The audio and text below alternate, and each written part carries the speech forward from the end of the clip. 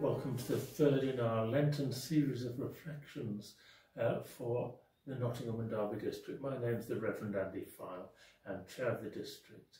And this week, continuing our thinking through that wonderful hymn of Charles Wesley, Love Divine, we come to the phrase, pure and spotless, let us be. We think on Jesus entering Jerusalem and going to the temple and what he sees there and how he responds to it. Let us pray. Lord God, who shows us in Jesus the depth of your love and the heart of your compassion, we thank you for the love and compassion he has for us and for all your people. We see in Jesus the challenge of what it means to live by your ways and for your kingdom standards. So help us as your people to respond justly and rightly. In the name of Christ. Amen. The Bible reading for today is from Mark's Gospel in chapter 11. Jesus enters the temple.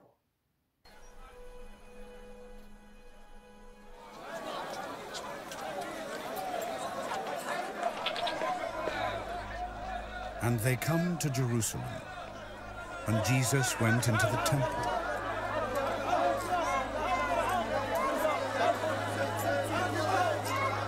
Began to cast out them that sold and bought in the temple.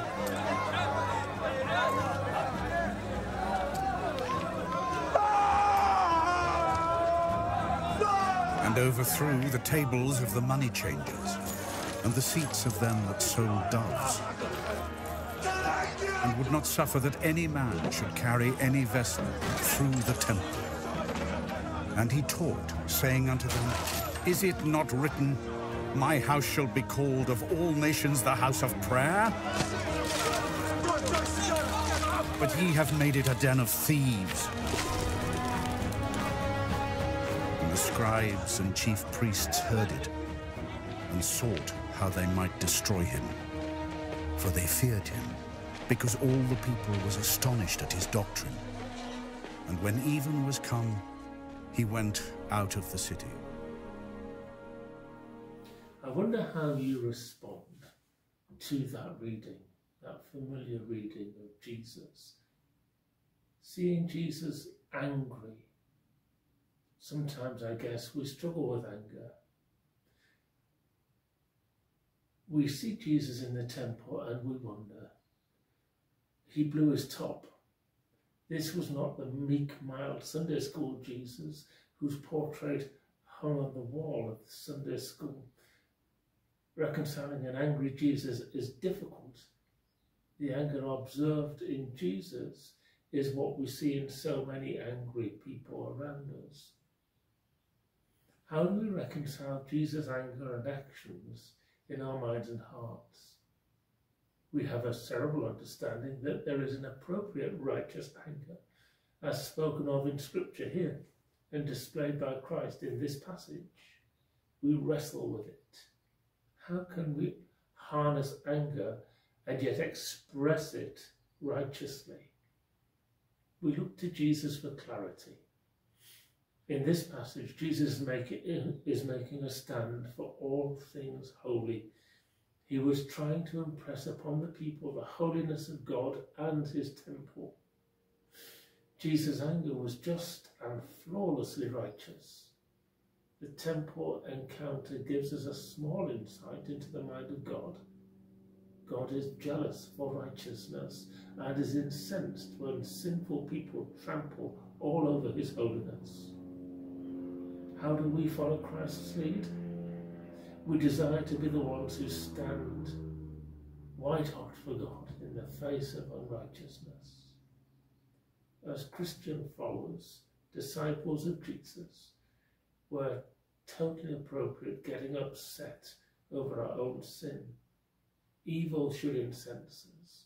This side of heaven, I suppose, will continue to struggle with righteous anger as well as fear and doubt we continue to thank God for his grace and mercy, even as we defile his temple and use Christ for personal worldly gain so often.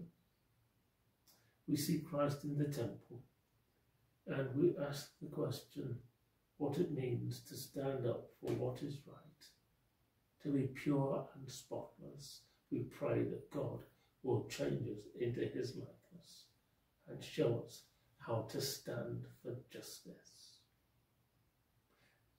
Thank you for listening again today. Hope you found the reflection helpful. Look forward to joining you again next Wednesday at 7. We end listening to the hymn, Show Me How to Stand for Justice.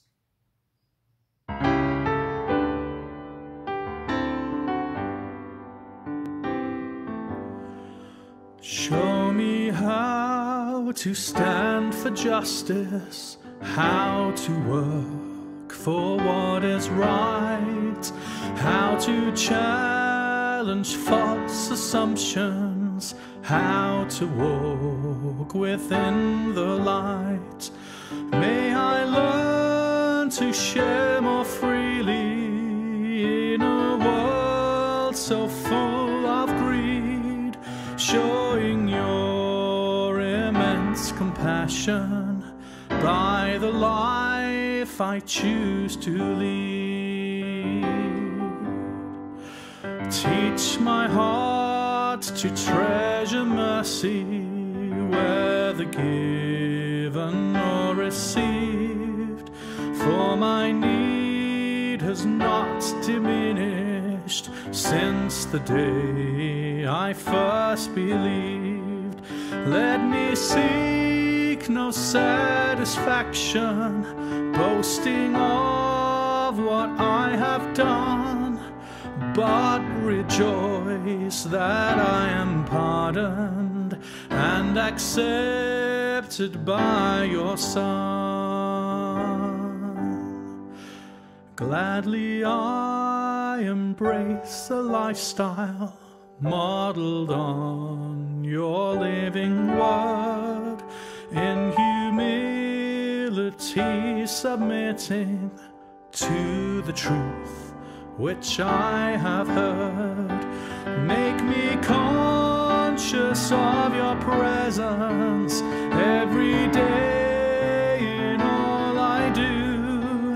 By your Spirit's gracious prompting, may I learn to walk with you. Make me conscious of your presence